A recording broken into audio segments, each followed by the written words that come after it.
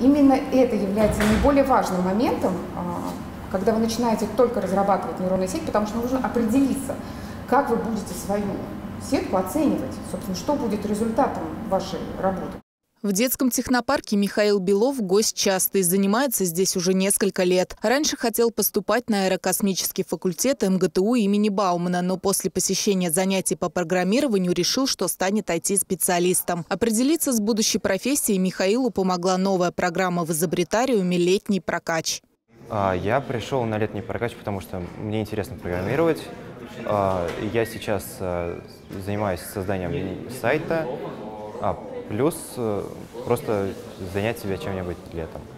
Летом в изобретариуме школьники могут попробовать себя сразу в нескольких направлениях – программирование, аэросъемка или машинное обучение, нейронные сети. Кстати, нейронные сети – это новый квант, который будут преподавать детям в технопарке на постоянной основе с сентября.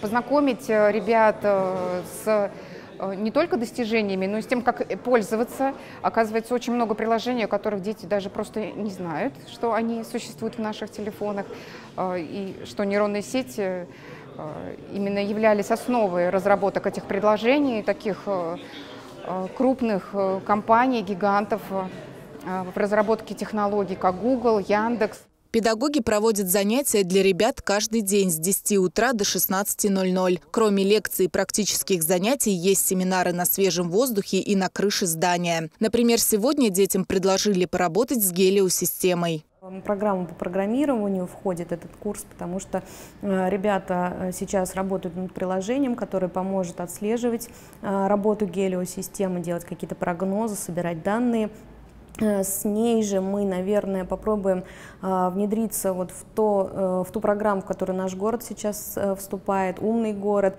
В сентябре в технопарке стартует еще один проект «Изобретариум для взрослых». Будет доступен курс по аэросъемке, архитектуре и промышленной робототехнике. Занятия будут проводиться в вечернее время. Дарья Галакова, Сергей Сомов, телеканал «Реутов».